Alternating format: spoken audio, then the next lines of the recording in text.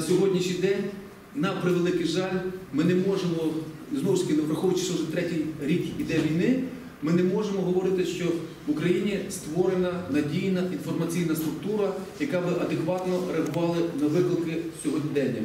Ідуть, ідуть інформаційні війни. Ну, давайте уявимо гіпотетичну ситуацію. Ви приходите в редакцію і вам каже редактор, шановний, я вас вітаю.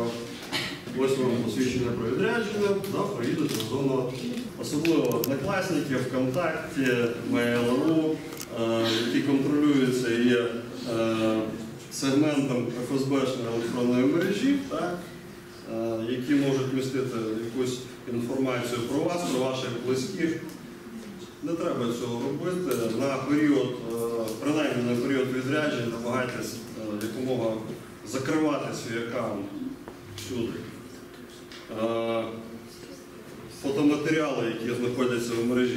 Журналіст, запа- запам'ятайте, журналіст не має брати до рук зброю, цивільний журналіст. Мобільний телефон. Звичайно, що один мобільний телефон це не телефон. Ви маєте окремий телефон для розмови з рідними близькими і з якого ви можете подати там сигнал небезпеки, і один телефон для офіційних робочих розмов, е, на які ви будете зав'язувати місцеві контакти.